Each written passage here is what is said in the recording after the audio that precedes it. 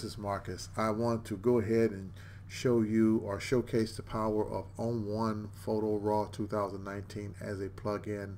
For those of you that are looking for alternatives to Photoshop and Lightroom, I can't recommend any program highly enough as I can recommend this program, which is ON1 Photo Raw 2019. It basically allows you to replace Lightroom to manage your digital asset management and this and also it, it will allow you to replace uh, Photoshop. Now when I say replace Photoshop, it is not a replacement for Photoshop, but as a photographer, there are certain things that you use Photoshop with.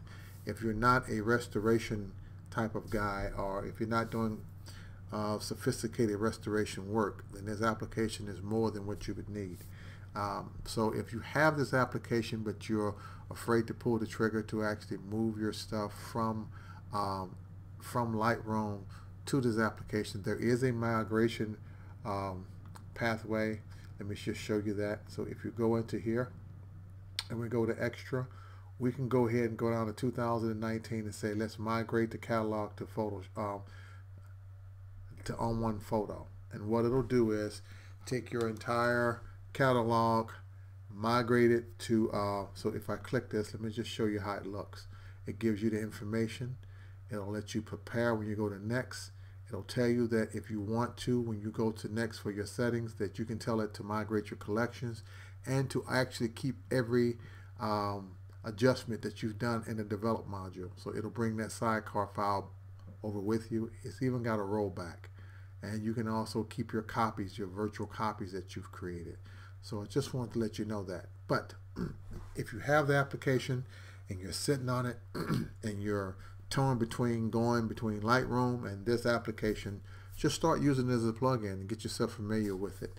And then as using it as a plugin, you will be able to see some of the power that this has. Now what I'm going to do right now is go ahead and do the basic editing of the raw file versus sending this program to ON1 and then bring it back into here using the develop module. That doesn't kind of really make any sense. We're going to be using, when I right click and go into the edit module of this, we're going to be using the 2019, the effects is what we're going to be using.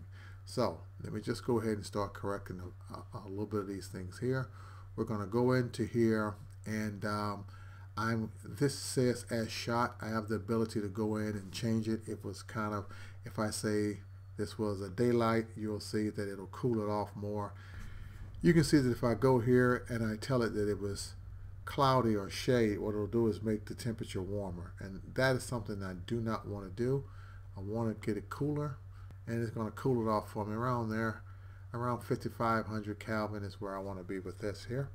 And you can see there's a bird on top of here as well. So what we're going to do is just do some of the basic edits. You'll see that I am clipping in some of the black areas here.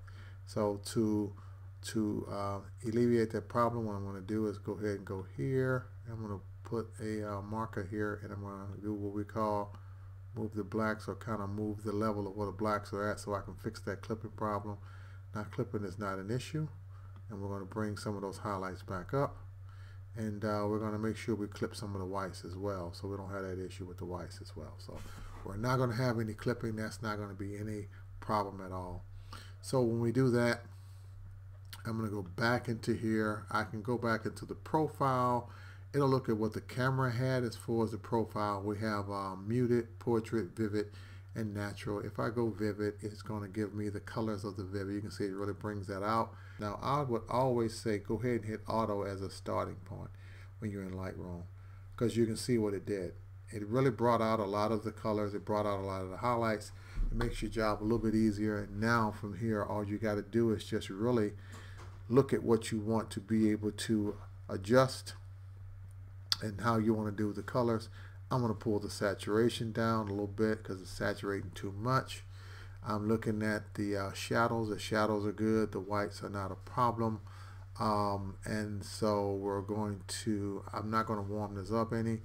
We're going to go into lens correction now. Because I use a mirrorless camera, when I click this here, it's telling me that the um, that the correction for the distortion and for the chromatic aberration is already built in and has already been applied to this image because of how Olympus puts it into their raw file. So there's no reason to click on that. That has been done. So the first thing we're going to do is go in here and we're going to start playing with some of the colors. I'm going to go on an orange palette I'm going to bring that down just a little bit. I'm going to bring down the reds just a little bit, not that much. Um, and of course, everything else looks good. We're going to amplify the greens a little bit more. That actually comes out to be pretty good. And we're going to amplify the blues. We're going to do that. So that looks pretty good. And uh, now we're going to go to detail. Now I can do my sharpening inside of effects, so I can do it in here. I'm going to elect to do the sharpening inside of the plugin to show you the power of the plugin versus doing it here. Um, we're going to add some vignetting. Let me go ahead and add a little bit of vignette to this right here. It'll really focus your eye on the actual uh, subjects. And so when we go into here, you can see that all this is done. I can push up the exposure just a little bit more.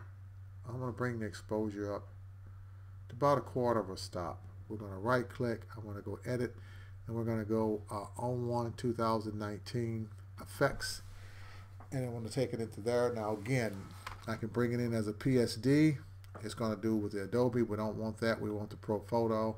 I can bring it in as a uh, TIFF or as a JPEG. I elect to bring it in as a PSD. So if I needed to take it to Photoshop for any reason, I could do that. I also work in 16-bit. It gives me a little bit more power to push the file a little bit more. So that's what we're going to do. We're going to hit edit. And it's going to bring this file in to ON1. And the first thing I want to add is I'm going to add this HDR look, which is going to really bring out the photo even more. So we have that there. I'm looking at the compression. I'm looking at the sharpness and everything. What I don't want to do is introduce any kind of noise into here. So I'm going to bring that down some, the detail. I'm going to lift up the clarity. Um, and I'm going to lower the compression just a little bit for this file. And this actually works out. It looks pretty good. I'm going to go ahead and hit apply. We can go into color adjustments or we can go into color enhancement. Let's go into color adjustments. But I'm looking at, because it's the saturation, there we go.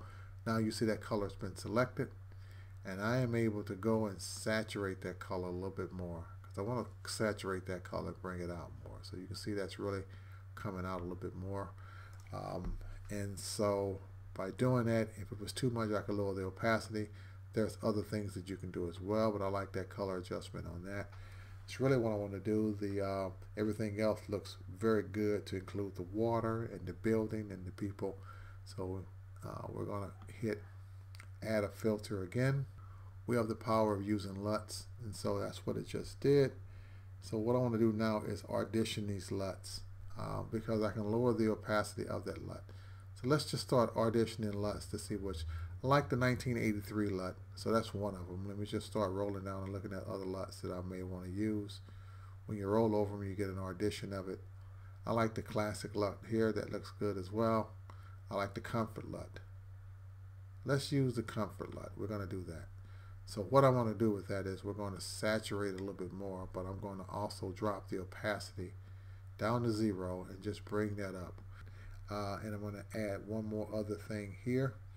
And what I'm going to add on here is there's no noise to be uh, to be reduced in there, but, but we do want to do some tonal, some tone enhancements. So I'm looking at this here. By default, it came back with nothing. That's the way we want it. We want to make sure that there's nothing that's been selected. Of course, if you want to be able to get a starting point, what you would do is go into here, into the tone enhancements. And as a starting point, the thing that I'm looking at mostly of all of this would be, I'm looking at the contrast. We have auto, we have dark contrast, but I would be looking at the contrast. So to go in that, you have more contrast going. Now I would reduce that contrast a little bit. I would lift up some shadows to give me more shadows within the photo. Lift that up. We would add a little bit of compression to this as well. And exposure, I, I could bring that up a little bit, but we would not. I would leave it probably about minus five. And basically for me, that's the photo. I would add um, color enhancer. And when you add color enhancer, right, I'm going to tell it, do, do not add a lot of vibrance onto the skin. We're going to go down here to more and I want to bring out the skies. That's the thing I want to add more. So I did that. Now the skies have been brought out. We're going to add the last filter on here, which is going to be a filter for sharpening. We're going to go ahead and improve sharpening. It's going to come out too sharp. I always use the one for portrait as a starting point, which gives me a pretty good sharpened photo. And I want to lower this down a little bit to about right there. The photo is done. Uh, if we go before and after, this is a preview of what we had before we made any adjustments. So the preview is off. You'll be able to see this. This is the original photo. And this is what we got. You can see the detail that came out of the photo. Again, this is the original. And this is what we have. And now all I got to do is hit done. And we're finished with this. It's going to write it back to Lightroom, bring it back, and create that PSD file for me that is separate from the raw file. And I can take that into Photoshop and do anything else I want to do to it. If I wanted to add layers, I could without damaging the photo at all. So I, this is what I wanted to show you. So if you have the application and you're kind of on a fence between them, start using it as a plugin for Lightroom or Photoshop. Get used to using it and that will make the transition to it a lot easier right now. So this is the file that we have here. And if we go in here and compare that file to, um, let's go here, and that file is there. And this is the raw file. Let's select that one. Let's compare the two together. As you can see, this is the raw file. This is the file I came out with. Let's go into them. You can see much more detail, much sharper photo. Looks a lot better. You got much more clarity and everything in the photo. So I just wanted to share that with you, so thanks for watching.